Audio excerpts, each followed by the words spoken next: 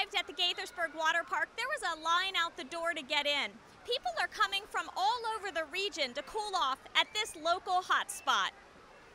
They are setting attendance records at the water park where people are lining up to splash, swim, and ride the slides on hot summer days. We've had increased attendance, and I would say uh, almost double what we've had last year, in particular 4th of July. The 38 foot tower slide is a favorite with swimmers and staffers.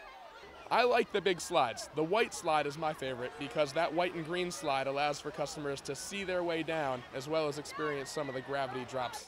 I, I like the slides the most. Um, the slide, it's very fast. It shoots you down. And then it goes right up, and then it goes down into the water. And it's really cool.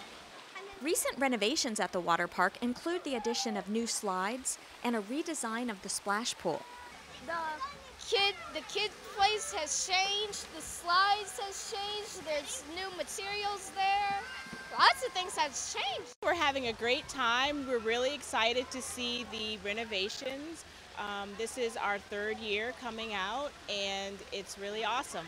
The water park is open seven days a week, and fees top out at $7.25 per person on weekends and holidays. There are discounts for Gaithersburg residents, too.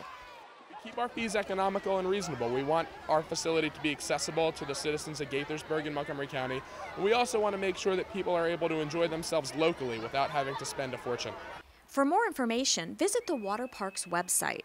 This is one of the best water parks I have been to and.